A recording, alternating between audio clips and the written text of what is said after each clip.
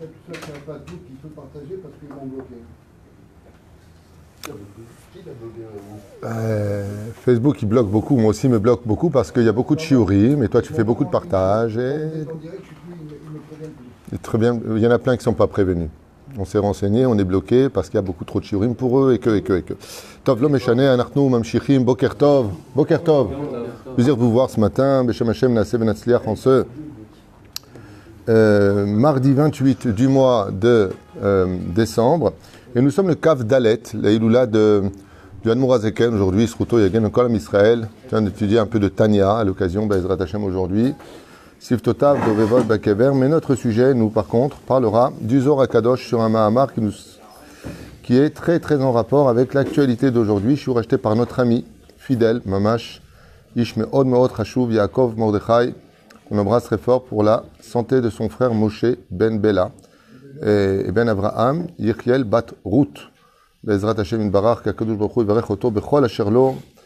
יפתח לו הקדוש ברוך הוא שערי הטוב שנותיו בנעימים בעזרת השם יתברך, lui avec tous les tormim que nous avons et qui nous soutiennent, que Dieu vous bénisse sur tous vos chemins. Easy euh, Énergie, Iji. Je fais semblant de ne pas écouter, j'adore. Je dis Iji Énergie. בעזרת השם, אור התימי הקדושה, רפואה שלמה. שרה טל בת אפרת מרים, יענה בן אסתר, חי לי ברכה בת ויתנה, שרון, ינון בן חי. ינון חי בן רותי, בעזרת השם, חיה רוחמה, אסתר, בת רבקה, ברוך בן רות צוף אמיר בן רות צופן שמעיה, שלמה בן ג'ואנה, יונה חנה, שפרקי ואמיר, רבקה בת אסתר, וכל חולי ישראל, אל נשמת כל מתי ישראל, ובכללם ז'ורג'ט בן שמחה אליס, ז'ולו יום טוב בן יסמין ידון, עליו השלום, שגם הלך לבית עולמו, מרדכי בן דוד, עטיה ג'רר גרוליק, Eli Elman ben Mazal, Sarah bat Chnena Dada bat Esther, Sasson bat Ben Esther Alevi, Oufren Amram ben Yaakov Azoulay, Chol Mete Israël. Yala. Bonne santé pour notre rave. Une bonne santé pour votre rave. Amen. Un bon rave. Et pas un ravagé. Tov. Quand on regarde l'actualité aujourd'hui sur euh, le Kamamdina, l'État d'Israël et ce conflit israélo-palestinien qui euh, fait la une des journaux depuis euh, 1948 et même un peu avant, on peut constater que on pourrait penser que le peuple d'Israël, comme le dit Rachi il y a plus de mille ans en arrière, est accusé d'avoir soi-disant volé des terres et patati et patata. C'est. Euh, alors que tout le monde sait très bien que la terre d'Israël, comme c'est marqué euh, aussi bien dans le Coran que dans le christianisme et autres, appartient au peuple d'Israël. Bon, alors pour les chrétiens, nous avons été euh, dispersés et maudits parce qu'on n'a pas accepté euh, JC. Et dans l'islam, eh bien, parce que nous n'avons pas accepté le prophète Mohammed, alors Mohammed, dans leur langage, eh bien, nous sommes aussi euh, destitués de notre euh, dit rôle à jouer, parce qu'on aurait aussi laissé tomber la Torah et les mitzvot. C'est quand même curieux que dans l'islam, il parle de, du fait qu'on soit rebellé contre Dieu plusieurs fois, alors ça nous a disqualifiés. Quand on est que l'islam est basé essentiellement sur le tadin, c'est-à-dire tu fais pas, tu prends sur la tête. Donc vous avez fauté, alors que c'est bon, vous êtes disqualifié. C'est comme ça que eux, en tout cas, voient les choses. Le Zohar Akadosh, il y a 2000 ans en arrière, lui, par contre, voit les choses de façon complètement différente à propos de la terre d'Israël. Est-ce que Béhémet, cette terre euh, sur laquelle nous sommes, nous revient de droit ou pas? De Shelat Tova Meod, dans la Torah elle-même, dans plusieurs endroits, plus exactement deux, si je me souviens bien, la Torah nous indique pourquoi Dieu a renvoyé les sept peuplades, donc les Cananéens, les Pidéens, du peuple de la terre d'Eretzraël parce qu'ils jouaient avec la Brit Mila dans la débauche. Et quand on dit que cette terre déteste la débauche, la terre vomit celui qui est dans la débauche et celui qui ne respecte pas le Shabbat, celui qui ne respecte pas ceci pas cela, patati patata. Avodazara, Gilou Yarayot, Fichut Damim, comme ça dit la Mishnah, Shemitah Taretz, hein, aussi euh, la, la quand elle n'est pas respectée, alors la terre nous vomira. Mais en tout cas, il y a une chose de sûre, c'est que euh, nous les Israélites, on dit, vous êtes de confession israélite, Israël, c'est-à-dire, euh, avons un lien direct avec cette terre, comme on l'a déjà expliqué peut-être 300 fois dans les shiurim, sur les 4200 shiurim qui existent sur euh, c'est qu'il y a euh, un kécher adouk entre la naissance du peuple et sa terre. Si tu as un stylo et que tu pas de feuille, ton stylo ne te sert à rien où tu vas écrire. En d'autres termes, tu peux pas être une nation sans ta terre. Et un des points très compliqués qu'a subi euh, notre peuple, c'est l'alliage de la Torah avec la terre d'Israël. C'est-à-dire que pour sauver l'étude de la Torah, on préfère se replier dans des endroits plus cool pour étudier la Torah en dehors de la terre d'Israël où ce serait plus facile. que de venir retrousser ses manches à étudier la Torah en Eretz Israël, qui est une Torah beaucoup plus difficile, beaucoup plus active, beaucoup plus vivante. En Israël, la Torah se vit. C'est un état de fait. Ça ne veut pas dire qu'en Galoute, elle ne se vit pas, mais ça veut dire que c'est pas la même chose. C'est-à-dire la Torah ne nous a pas été donnée pour être vécue spécifiquement en Galoute. Mais ça veut dire qu'en Galoute, on devra quand même étudier la Torah et pratiquer la Torah, les mitzvot. Barour. Barour Sheken. Et cette terre-là, eh bien, correspond à une des missions principales du peuple d'Israël, vers Israël et Goy Gadol, je ferai de toi une grande nation. Et comme vous allez le constater dans cette paracha de la semaine, Dieu nous sort du pays d'Égypte parce qu'il a promis de nous faire sortir pour nous donner la terre d'Israël comme il l'a juré à Abraham, Yitzhak et Yaakov. On vraiment être aveugle dans l'étude de la Torah pour pas comprendre que l'une des missions principales sur les deux missions du peuple d'Israël, c'est d'être sur sa terre. Vraiment être aveugle pour ça. Hein. c'est marqué, euh, je crois, pratiquement dans la moitié de la Torah. On peut dire la moitié de la Torah. Dans le Birkat Amazon, dans les prières. À Kol. Le sur notre terre. Première mission du peuple d'Israël, d'être une nation sur sa terre. Comme ça, ça commence dans la Torah. Et deuxième mission, vous le comprendrez bien, d'être un peuple pieux. On doit être Kedoshim. C'est là. Un peuple, ça passe pas suffisamment longtemps en Israël, être comme euh, Rabbi Shlomo. Kadosh, il mot Torah, l'ikboaitim la Torah, be'ezrat Hashem. Olim bakdusha velo yordim. Zéinyan, Israël, étant donné que c'est une terre qui se mérite, comme le dit la Gemara dans Brachot He, alors c'est difficile. Et quel est le tikkun principal d'Eretz Israël? Le Et Adaat, la reine, le blé, l'argent, la parnassa. Chazal pose la question, il dit pourquoi c'est dur en Israël au niveau de la parnassa? Quoique c'est pas dur pour tout le monde, je vous l'affirme. Eh bien, tout simplement parce que si on était riche en Israël, on serait déjà au Gan Eden. La vie serait très belle en Israël. C'est tout le temps beau, on est entre nous. Blé Ainara, celui qui a beaucoup d'argent ici, ah,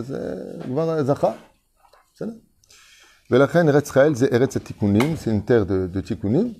Et pour cela, eh bien, nous avons une guerre qui, euh, jusqu'à aujourd'hui, se démène euh, avec beaucoup de véracité, puisque, euh, vérocité. Véracité. Véracité. Ok.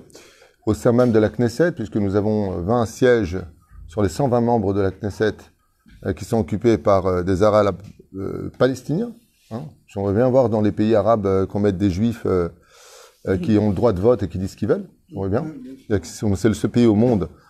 En plus de ça, avec des gens de la Knesset qui, normalement, dans la démocratie, vous savez que la base de la démocratie, c'est le nationalisme. Vous savez ça. La base de la démocratie a été créée à la condition où tu es toi-même représentant du nationalisme de ton pays. Ben, les 20 membres de la Knesset ne reconnaissent pas Israël et euh, relève le drapeau palestinien. Donc c'est un sujet qui pourrait paraître sensible, mais on n'est pas là pour parler de politique, on est là pour parler de Torah. Parce que ce qui se passe, c'est qu'on a descendu le système, parce que des fois on peut être juif et intelligent, on peut être juif et très bête.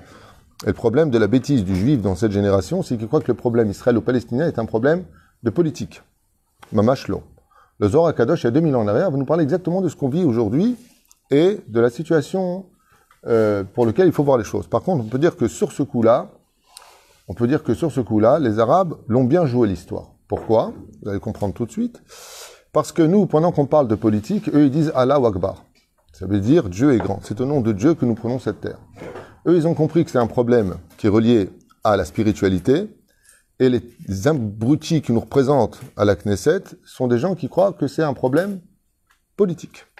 Alors que pas du tout. Rabbi Shimon va nous tenir au courant des tenants et aboutissants du règne de l'islam sur la terre d'Israël par rapport à la Torah. Donc je vous invite à, on va le traduire directement de l'hébreu au français pour que les gens comprennent de quoi est-ce qu'il s'agisse. Et celui qui n'est pas d'accord avec ce que je dis, je rappelle qu'ici on est dans le Beth Midrash, que je suis rabbin et que je parle que de Torah.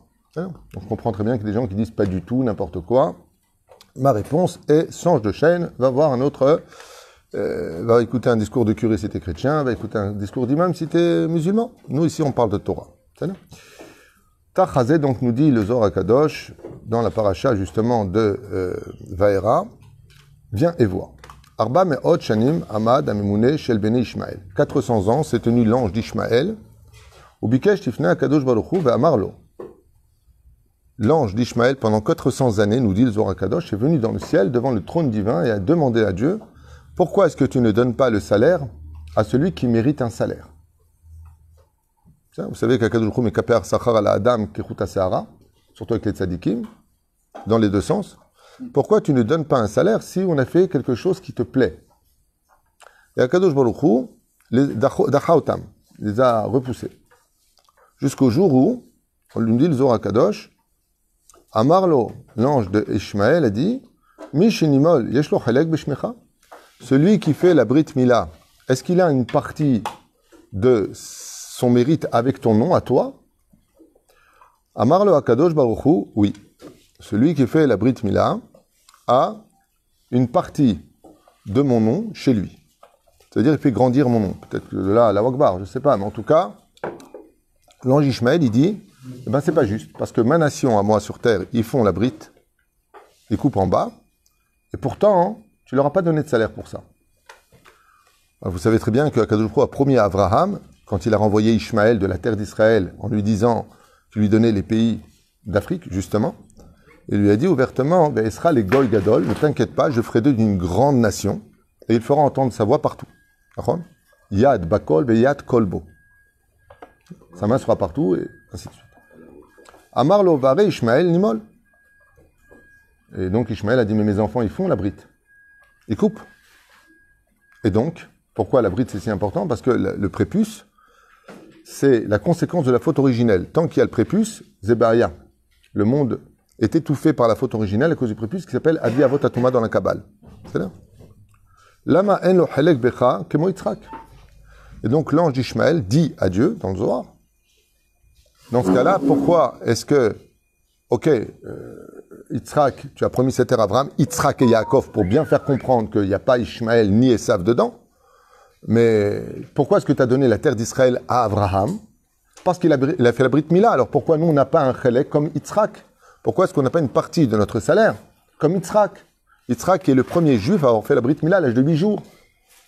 Amarlo, Nimol Karaoui Ketikunav. Il dit parce que vous, vous faites pas la Brit Mila comme il le faut, tandis que la descendance de Yitzhak, eux, font la Brit Mila comme il le faut. En d'autres termes, de quoi dépend essentiellement, selon Zohar Kadosh, la terre d'Israël? Essentiellement de quoi elle dépend? Shmirat Abrit. Non seulement la Brit Mila, mais Shmirat Abrit. Qu'est-ce que demande l'ange concrètement? Il veut un salaire. quoi? Euh, Tu vas l'entendre, c'est tes passions. Zé Enokar. Tandis que vous, les Ishmaélim, vous ne faites pas la Brit Mila comme il le faut. Vous coupez, c'est tout. Nous, on coupe et on retourne la peau. Mais le od est là chez Elu Medapkim Bi Karaou Lishmona Yamim. Et Akadosh Baruch dit à Ishmael, vous, vous faites la Brit à l'âge de 13 ans, un peu avant, un peu après aujourd'hui, peu importe, tandis que le jour correspondant à la Brit Mila, c'est huitième jour. Beyom Ashmini Imol Besar Orlato. Imeni. Et vous, vous faites les, choses en dehors. Donc le créateur du monde, qui via Chol, entre guillemets, se justifie vis-à-vis de l'ange en disant euh, Excuse-moi, toi tu m'as fait un semblant de gâteau, eux ils m'ont apporté un gâteau frais, bien bon à manger. C'est en image. Amarlo, Dim Kolze, Kevan Shinimol, le Yelo Sachar Tov Alze. Il dit Mais malgré tout, alors tu es en train de dire quoi Que l'Ishmaël fait la moitié du travail Il coupe. Et c'est la moitié, mais après nous on doit retourner la peau. D'accord? La prière, ça s'appelle. Les anges se sont écriés Malheur au monde que Ishmael a pris sur lui la mitzvah de la Brit Mila. De la Brit, pas Brit Mila, mais de la Brit, c'est-à-dire de couper. Pourquoi? Parce que ça va leur donner un mérite. Et le créateur du monde, Ken, qu'est-ce qu'il y a? Je savais que ça allait t'intéresser, toi, je te connais. Est-ce que ça voudrait qu'Abraham n'a pas fait la même Brit Mila à Ishmael qu'à Absolument. Parce que l'ordre était après. Pourquoi il n'a pas fait, Parce que la Brit Mila s'adresse uniquement à celui qui a un rapport avec la terre d'Israël. C'est pour ça d'ailleurs qu'on enterre le prépuce dans la terre. Mi mana afar Yaakov. Qui peut compter la poussière d'Israël? Et c'est la Brit Mila. La terre d'Israël est reliée à la Brit Mila. C'est-à-dire que la pire chose qu'une personne puisse faire en Israël, c'est fauter avec la Brit ici. Il n'y a pas pire. C'est pour ça que le Yetzerara, c'est marqué dans la Torah ce que je vous dis, hein, noir sur blanc. J'ai renvoyé ces sept peuplades. Pourquoi? Parce qu'ils étaient dans la débauche sexuelle, ainsi de suite. La terre ne supporte pas la débauche sexuelle. Et c'est pour ça que le Yetzerara d'Eretzrel, qui est très puissant, selon Zohar Kadosh, sa seule et unique euh, euh, passion, son passe-temps préféré, c'est de faire tomber les hommes dans la faute. Des trois points culminants pour lesquels Eretzrel se braque contre nous, faute de la Brit Mila, faute de la parole, d'ailleurs c'est relié, Brit Mila en hébreu parole, donc le Lachonara, et Shabbat. et Shabbat. Les trois, dans les trois cas, si tu respectes pas les trois, celui qui fait la Shonara, c'est Kilou Oved Avodazara, celui qui n'est pas Shomar Brit Mila, Oved celui qui n'est pas Shomar Shabbat, Kilou Oved Avodazara. C'est relié. Leotozman Shenolad.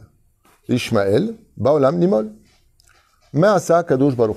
Le Kadosh nous dit, Rabbi Shimon Bar Yochai, qu'est-ce qu'a fait Akadosh Baruch Il a dit, Ilchik et Bene Ishmael midavkut Eliona. Il leur a dit d'abord, vous les enfants d'Ishmaël, selon le Zohar et Kadosh, et pas moi personnellement, il n'y a pas d'idée personnelle dans ce que je dis, je ne suis, pas- suis pas venu juger aucun, aucune euh, nation, juste vous tenir au courant, pour nous les juifs, de ce que nous dit le Zohar Kadosh, vous verrez que le problème israélo-palestinien est un problème de Torah, c'est un problème spirituel, c'est pas un problème de, politique, pas du tout. Et, je le répète encore, les seuls qui l'ont compris, c'est eux. C'est-à-dire qu'il n'y a pas plus intelligent qu'un juif, mais des fois, il n'y a pas plus bête qu'un juif, je vous l'affirme. C'est impressionnant. Pourquoi? Parce que tout le problème vient du fait que, im tishmeru, comme c'est marqué dans la parachat de Bechukotai, vous faites Torah au mitzvot, il n'y aura pas d'ennemis sur votre terre. Ils vous reconnaîtront. Vous faites pas Torah au mitzvot, ils vous diront vous êtes des voleurs, que vous voulez une terre? Donc de quoi dépend essentiellement le système de la terre d'Israël? De la Shmirat Torah. Shomer Shabbat. C'est bien beau d'avoir une kippa et de dire aux gens le sionisme, le sionisme. Je suis sioniste. Baruch Hashem est fier de l'être.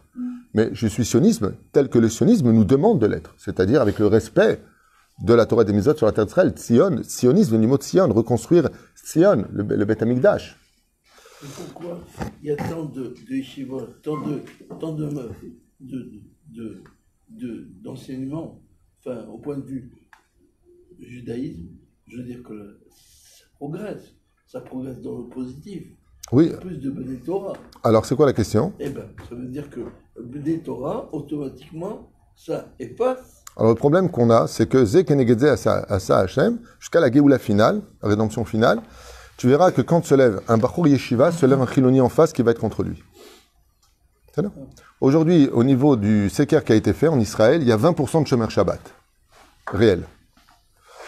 Je ne sais pas ce que ça vaut, c'est un, c'est un sondage qui a été fait euh, par plusieurs euh, professionnels. Il y aurait 20% du peuple. On est encore loin. Euh, c'est quand même curieux qu'à la fin des temps, nous sommes dans le même chiffre que le début de la nation d'Israël quand elle sortit d'Égypte. Combien sont sortis d'Égypte? 20%. Nous sommes dans les mêmes pourcentages, très bizarrement. Le Marsha Kadosh dans Maseret Shabbat, d'ailleurs, dit que la Géoula finale sera la même que la Géoula numéro 1. On sera dans les mêmes chiffres. Le Marsha, il y a trois siècles en arrière. Ben, il s'est pas trompé.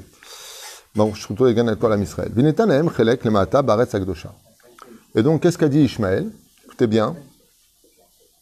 Daniel, tu auras un examen après sur ça. Qu'est-ce qu'a dit Ishmaël? Il lui a dit Alors, puisque nous avons le mérite de la Brit Mila, malgré tout, même si elle n'est pas complète, donne-nous le salaire d'Yitzhak, mais à moitié. Alors, vous avez bien compris que à moitié, ça veut dire quoi? Comment ça commence dans le Zohar Kadosh?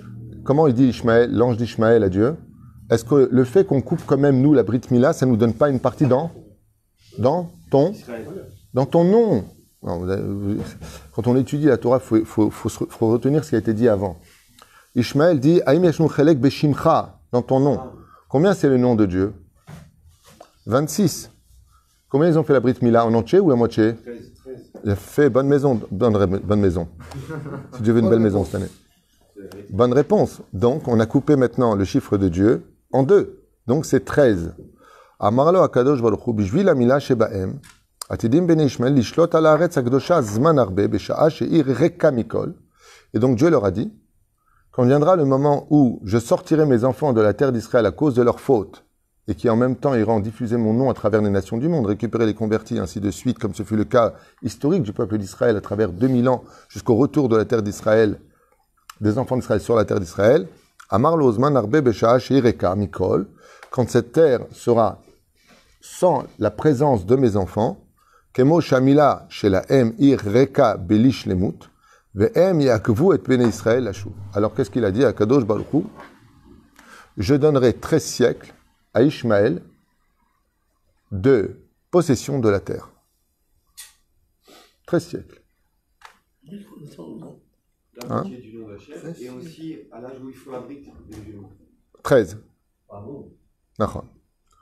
Alors, Omer, Azor Kadosh, Kemo Shamila Shelaem, Ireka Belish Lemut. Quand est-ce qu'est né, on a vu ensemble, euh, donc, l'islam? 621, 622, il y en a qui disent même 627, il y en a qui disent un peu plus tard, il y en a qui disent un peu plus tôt. Ça fait donc 13 siècles et des poussières, parce qu'ils sont pas sûrs eux-mêmes. Il y en a qui, ça dépend de la théologie, ce sont des, des historiens. J'ai vu plusieurs déotes par rapport à ça, de la naissance de l'islam. Ben, bizarrement, ça fait, si je fais 13 siècles et des poussières, ça fait 1967. 1967 Ok Comment ça? Je sais pas quoi te répondre quand tu me dis ça. Mais non, mais c'est l'air, mais c'est aussi la guerre des six jours. C'est la libération de Jérusalem. Et ben. Et donc, à la fin des siècles, nous dit le Zohar Kadosh, la nation d'Israël fera tout pour éviter le retour des enfants d'Israël sur sa terre. Il y a 2000 ans que ça a été écrit. Vous voyez que c'est pas un problème euh, de, de la Knesset avec aujourd'hui le programme euh, du peuple palestinien. Le Zohar Kadosh, il y a 2000 ans, nous dit Yakvu bene Israël lashuv limkomam, achi ushlam srut bene Ishmael. Et en réalité, pourquoi est-ce que ça prendra du temps pour la, pour la, la royauté d'Israël de se réinstaller? Car en réalité, Dieu veut payer jusqu'à la dernière seconde le dû, le salaire d'Ishmaël sur la terre. Ve'atidim ben Ishmael leorer milhamot gedolot ba'olam. Et à la fin des temps, Atidim, dans l'avenir, la nation d'Ishmaël va réveiller de grandes guerres dans le monde. Et il y aura une association de de l'Occident, avec l'Orient. D'un coup, Edom, l'Occident, va s'éprendre de d'estime et d'amour pour Ishmaël, ce qu'on est en train de vivre aujourd'hui à travers l'Europe, tout ce qui se passe, pour faire avec eux une alliance, et commencera une guerre à la fin des temps, de l'union de l'Occident avec l'Orient, qui démarra par les océans, par la terre, le Samour Yerushalayim, et c'est jusqu'à Jérusalem qui sera le conflit principal, il y a 2000 ans en arrière, de ce qui se passera. Et quand vous entendrez que Ishmaël et Édom, en d'autres termes, l'Orient et l'Occident, voudront rentrer de façon hostile contre Israël, la réponse sera, donc on sera un petit peu euh, ébranlé, accusé de voleur, c'est pas votre terre, qui que quoi donc, lequel, nous dit déjà le il y a 2000 ans en arrière, Rashi il y a 1000 ans en arrière, c'est le premier Rashi de la Torah, Rashi il y a 1000 ans, à cette époque du Moyen-Âge, Rashi. Les nations du monde vous diront Atem listim, Shekafshtem et Shebar.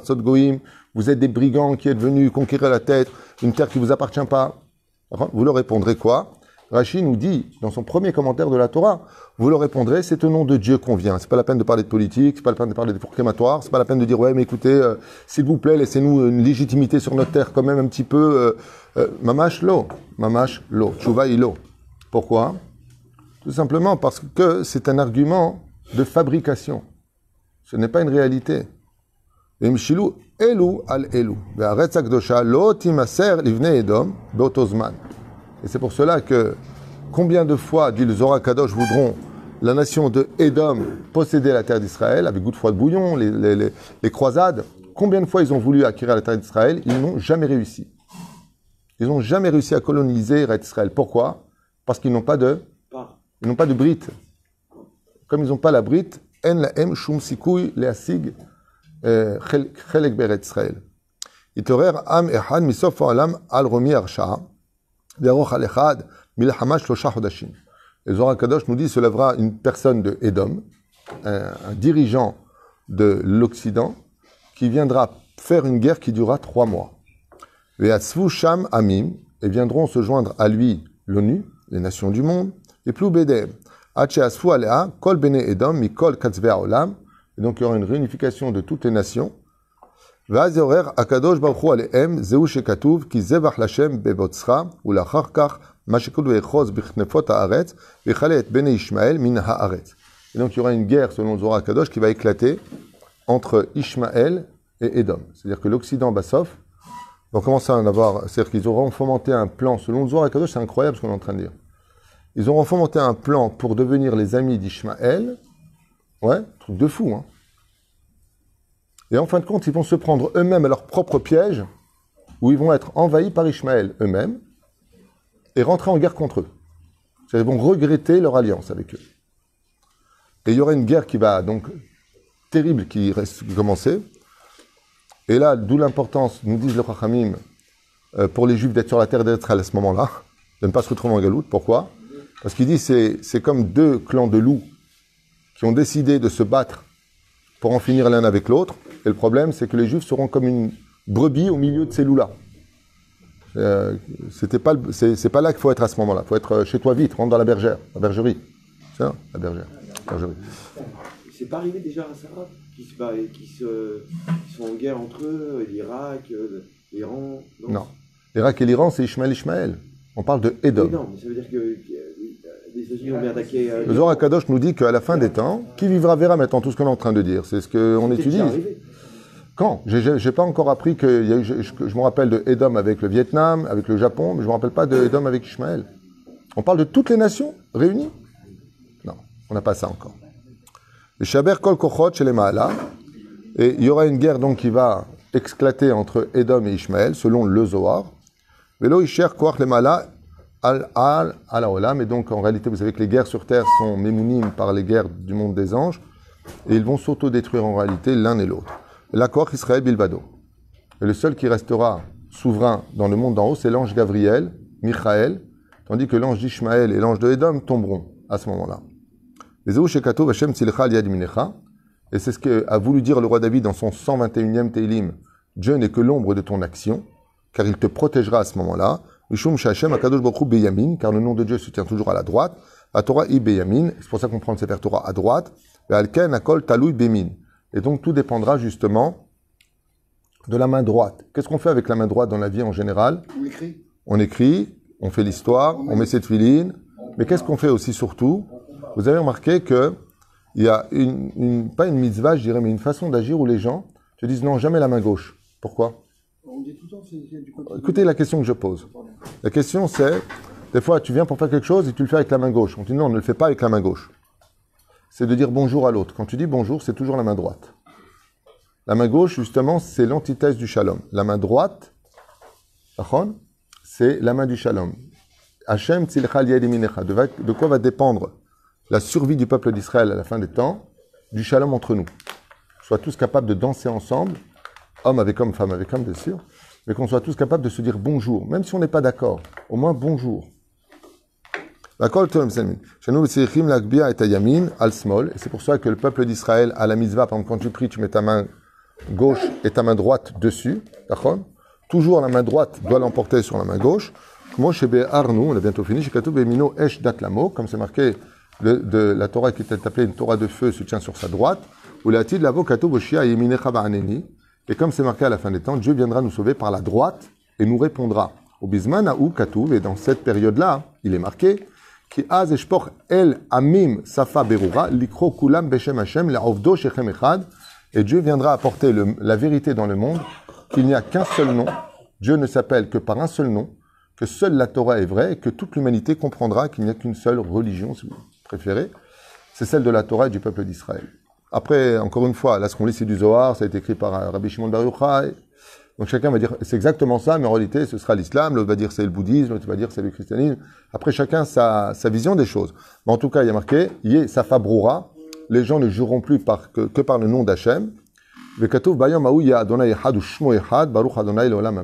ça dit euh, Rabbi Shimon Bar. Et les nations du monde reconnaîtront la légitimité, légitimité non seulement du peuple d'Israël, de la terre d'Israël, mais plus que ça encore, ils viendront travailler pour le peuple d'Israël, se prosterner devant le peuple d'Israël. Ça, c'est c'est dur à entendre euh, pour aujourd'hui. C'est marqué quand même dans la Torah, je rappelle aussi euh, clairement, euh, c'est la fameuse bénédiction qu'a fait Yitzhak à Yaakov, euh, Bezrat Hashem, et la vérité sortira. Ashrei mi ba'emet, heureux celui qui adhérera à la vérité à cette période, heureux celui qui sera dans la Torah et les mitzvot, et surtout heureux celui qui vivra dans la imuna la plus totale, à une période où la vérité sortira. Il sera bon d'être dans la vérité, non pas à côté, car la honte que subiront les nations à cette période, comme c'est marqué dans Masechet Avodazara Bedavbet, là-bas il est marqué que les nations du monde partiront la tête en bas, remplies de honte, en disant mais nous aussi on a voulu aider les juifs, en réalité on, euh, ce qu'on a fait c'était pour eux, euh, on a fait les ponts pour eux. Vous connaissez cette Gemara qui a été écrite il y a 1800 ans en arrière, hein, qui n'a rien à voir avec la politique d'aujourd'hui. Les nations du monde essaieront de se justifier en disant mais putain on adore les juifs, on est prosélytes, regardez on a même voté pour qu'ils aient un pays. Euh, Chacun essaiera de, devant la vérité de, de dire non non au contraire, euh, on n'a jamais voulu faire du mal et ainsi de suite. Ça c'est pour les nations du monde, mais pour le peuple d'Israël ce sera très dur pour la femme qui sera sans kissouille, pour ceux qui ne mettra pas les filines, ceux qui n'étaient pas Shomer Shabbat, qui t'a fait Erchéou. Quand viendra la Géoula, comme tu seras, tu seras attrapé. La reine Bezrat Hashem, qu'on ait tous un petit peu de jugeote et un peu d'humilité, de comprendre que la Géoula peut venir à tout moment, mamash, de façon subite, et que heureux celui qui sera attrapé dans la Torah, le mitzvot à ce moment-là, avec l'humilité, et heureux surtout celui qui aura le mérite d'être sur sa terre à ce moment-là, même si c'est extrêmement dur. S'il y a des raisons d'aller se faire soigner en Khutzlaret, s'il y a des problèmes de santé, des problèmes psychologiques, l'odéama. Après, faut faire une question de chacham. Aval, celui qui, pouvait vivre en Israël, celui qui avait des raisons de vivre en Israël, celui qui avait une parnassa au moins en Israël, Chaval de quitter ce pays alors que on est vraiment arrivé à la fin d'une grande histoire qui finira glorieusement pour tout le peuple d'Israël. Ken y compris pour les 80%. Alors, alors c'est une grande question. Pour le rabbi de Lubavitch, euh, même les 80% trouveront un tikkun. Le rabbi se base pour cela sur Pessar Sheni. Quand vient la Géoula, c'est à Pessar, Nachon, il dit Pessar, il y a celui qui est impur, donc celui qui n'est pas prêt. Et aussi Pessar Sheni. Alors, le rabbi, il dit que pour le premier shlav de la Géoula, ceux qui ne seront pas dans la Torah les mitzvot, ils passent pas. Mais il y aura un rattrapage pour eux. Et le rabbi se base sur Pessar Sheni, donc le 14 du mois de Iyar, et il dit, euh, tu vois bien que ceux qui sont en retard peuvent venir apporter le sacrifice de, de. Là- là- alors il se sert comme ça de la lame gilette, la double. Voilà. Ça c'est le rabbi. Euh, le marcha n'est pas du tout d'accord avec ça, et beaucoup de commentateurs ne sont pas d'accord avec cette déa-là. La Gemara dans Sanhedrin nous dit que est-ce qu'on sera obligé de faire teshuva ou pas pour la Géoula? Réponse.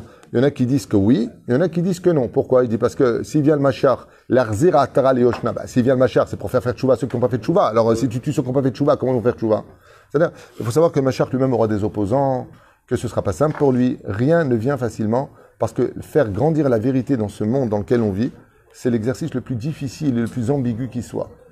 C'est fou ce que je vous dis, vous ne pouvez pas savoir à quel point, que ce soit dans le domaine professionnel, familial, les injustices qu'on subit les uns les autres, de faire sortir la vérité, les gens sont tellement remplis d'imagination, de colère intérieure, de, ils sont tellement manipulés par toutes sortes de choses sans écouter les deux sons de cloche, on en a fait plusieurs shiurim, vous le savez bien, que tout de suite on condamne, tout de suite, ah c'est ça qu'il a voulu faire, ah c'est ça. On se fait des films, et pas, pas, pas, et on condamne, et on, attention, ouais, ouais, ouais. Est-ce que tu connais la vérité? Est-ce que tu... Non. On a fait des... des- c'est- fou, c'est fou. Voir comment la chrétienté à l'époque, euh, où euh, il y a un prêtre qui avait décidé de trouver une excuse pour l'extermination des Juifs. On est à Prague à l'époque, on est à Vilna à l'époque, et euh, qu'est-ce qu'ils décident de faire pour vous dire à quel point c'est stupide? Je vous donne un petit exemple, ok? Ils disent euh, que comme les Juifs, soi-disant, ont tué Jésus, les marchements ok Comme les Juifs, ils ont tué Jésus, ils avaient besoin de son sang pour Pessah. Et vous n'allez pas me croire, pour vous dire à quel point la stupidité humaine, quand elle a de la haine, elle n'a pas besoin de chercher à comprendre s'il y a une vérité ou pas derrière. C'est pour ça, donc, a dit la chrétienté à l'époque, que les Juifs, pour la fête de Pessah, tuent des petits-enfants pour prendre leur sang, le mélanger à la matzah, et ainsi de suite. Qu'est-ce qu'on fait Adra. C'est de l'histoire. Adra. Qu'est-ce que ça me rajoute de m'interrompre Et à, à, ce qu'il y a d'incroyable, c'est qu'ils sont partis voir le roi et la reine de cette époque, je ne me rappelle pas de leur nom, c'est pas important, et on dit, les juifs tuent des bébés pour mettre euh, dans leur matzot. La preuve en est, voilà un bébé égorgé. On l'a trouvé dans le quartier des juifs. Quoi? Bah, Il faudrait Coluche. Quoi? C'est comme il fait comme ça. Ouais. Tuer les juifs. Mais fais ton enquête. Midbarer par la suite que le maral de Prague est parti voir le roi de cette époque et il lui a dit mais attendez, vous- il lui a apporté toutes les lois de la cache-route. Un animal qui a, pas, qui a du sang, c'est c'est quoi la cache-route? Épurer l'animal de son sang, on peut pas le manger quand il est cachère, l'animal. Il dit ah ouais voilà, c'est vrai. Alors comment c'est possible? Alors le roi il a mené son enquête, Midbarer que c'est ce prêtre lui-même qui avait égorgé l'enfant pour le mettre dans le quartier des Juifs. Vous retrouverez cette histoire dans la biographie du maral de Prague. C'est des trucs de fou. C'est on vient, on dit euh, celui-là il est comme ça, ça y est, on prend. Faire sortir la vérité dans ce monde, c'est tellement compliqué que même le- un des plus merveilleux personnages non juifs qui est devenu juif, qu'on appelle le Kuzari, il vient et il dit, mais je comprends pas, si vous êtes le peuple de la vérité, pourquoi vous êtes si peu nombreux, pourquoi vous êtes constamment frappés, spoliés, massacrés, euh, convertis de force? Pourquoi? Euh, Pourquoi votre Dieu n'est pas avec vous? On- Il a expliqué parce que nous sommes le peuple de la vérité et faire sortir la vérité dans un monde de mensonges, ben c'est très compliqué, c'est ce qu'on vit aujourd'hui. On vit dans un, dans un système médiatique, on a fait, on a créé un peuple de toutes pièces qui n'a jamais existé, le peuple palestinien n'a jamais existé avant qu'on revienne sur la terre d'Israël, on n'a jamais enlevé un drapeau palestinien, il y avait un drapeau jordanien, qui n'a rien à voir avec ça. Rien à voir avec la péninsule, tout le système. C'est un peuple qui a été créé par les Anglais. Le nom palestinien a été créé par Adrien, empereur de Rome, euh, d'un mot grec qu'il a voulu reprendre par rapport à la Torah, mais des trucs de malade. Et aujourd'hui, on t'invente n'importe quoi. Et vous verrez que euh, ça marche très fort. Le mensonge marche très fort. Il suffit simplement de publier sur euh, Facebook ou sur les réseaux sociaux une information fausse pour que ça prenne un feu de forêt et que l'on détruise la vie des uns et des autres. La vérité est très difficile parce que euh, aujourd'hui, comme le dit la Torah, je finirai avec cette phrase, à la fin des temps, Akadosh recherchera uniquement celui qui cherche la vérité. Et la vérité, on le chante dans notre euh, Torah. Torah Emet Natan. Torah, c'est une Torah de vérité. Voilà, c'était du Zohar, Bezrat Hashem, Shkei Yeshuot, Venechamot, et qu'on comprenne que si on veut aujourd'hui avoir la paix dans notre pays, on devrait peut-être commencer par avoir plus d'amour les uns pour les autres et plus de Torah aux autres. Kol tout.